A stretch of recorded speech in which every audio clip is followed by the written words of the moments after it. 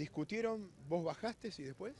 Y yo, por, yo quise parar el auto porque ellas estaban robando mi ropa, qué sé yo, y para que ellas detuviera, para que, para que porque esta, esta mujer ya me había pegado todo el tiempo, me había apuñalado a la tarde y todo, me había robado todas las cosas, hasta el celular, y en vez de hacer lo que tuvo que hacer, este, parece que le gustó la piba y, y en vez de defenderme a mí, se puso al lado de la piba, la piba hasta le encajó un chupón, y cuando quise parar el auto, medio que me subí arriba del capó y en vez de, parar el auto, aceleró mucho más fuerte. Mi amiga Julia le gritó José Luis pará, José Luis pará, y en vez de parar eh, dio una maniobra al cual yo salí despedida, me dijo mi amiga, volé y terminé en el piso inconsciente, con ella me hizo una RCP y ahí me recuperó hasta que vino la ambulancia y los médicos y, y me asistieron, sí, tengo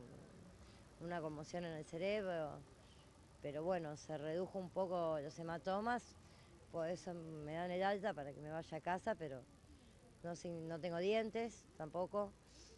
Eh, bueno, por suerte tengo vida por ahora. Recién hablabas de una amiga, esa amiga es, eh, también estaba adentro del auto con la otra chica y tu amigo o novio. Sí, sí, sí, sí. La cual no, no supuso nunca que iba a pasar eso, pero es mi amiga de toda la vida y y no me abandonó en ningún momento. Ha venido acá, al hospital también, no, me abandonó, Este hombre está detenido, ¿cuánto hace que lo conoces? Eh, la verdad que lo conozco de toda la vida porque yo vivo en 51 y 15 y ellos son de 17 y 50. Es una familia de la ciudad muy conocida, Yocurto, muy pero muy conocidos, adinerados. Este, como dice él, alta gama son, mirá qué alta gama es que lo que terminó haciendo.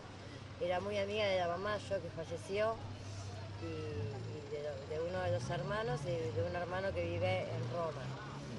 en ese eh, momento cuando eh, hubo una discusión, una pelea dentro del auto, vos te quisiste escapar de ellos, de él por lo menos.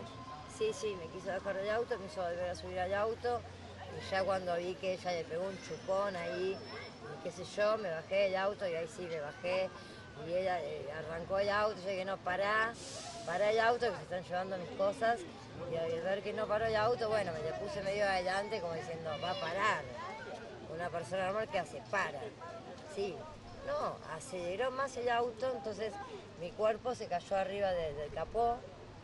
De él yo me agarré de donde pude el auto, que parece que era una antena, no sé, para sostenerme y no caerme, pero cuando hice esa maniobra, que según mi amiga Julia la hizo eh, muy bruscamente y acelerando muy rápido, mi amiga le gritaba José Luis pará, José Luis pará. Claro, y es ahí cuando bueno, te arrolló y, te trasladaron después a este hospital. Bueno, lo más importante es que los médicos te dieron el alta y que ya estás fuera de peligro. Sí, tenés lesiones, pero te vas a poder recuperar y que ya la justicia intervino y hay un detenido. Te agradecemos mucho, Vanessa. No, no, gracias a ustedes por todo y bueno, espero que, que sigan el caso y que esto no quede así porque igual que yo debe haber muchas chicas. Así es, así es.